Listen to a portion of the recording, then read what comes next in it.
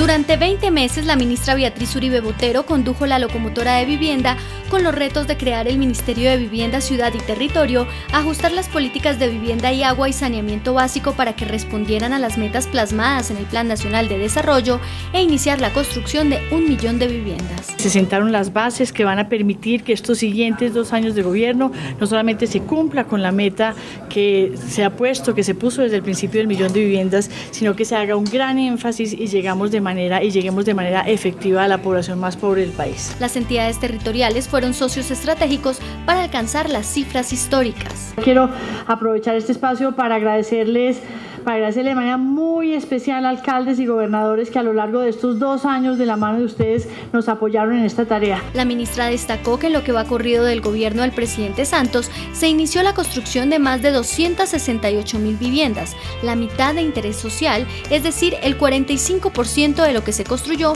en todo el cuatrienio 2006-2010. Destacó que esto contribuyó claramente con el mejoramiento de la economía. El Producto Interno Bruto del sector, tras haber registrado caídas de hasta el 13% en el 2010, alcanzó crecimientos de hasta el 12% en 2011 y el sector generó más de 189 mil nuevos empleos directos, lo que representa el 17% del total de puestos de trabajo creados en el país. Las cifras están ahí, no hay que defenderlas. El DANE las presenta, Planeación Nacional las presenta, cerramos a 31 del año anterior, 31 de diciembre del año anterior con 270 mil viviendas iniciadas. La ministra Beatriz Uribe continuará trabajando con el gobierno para que en Colombia la prosperidad sea una realidad para todos.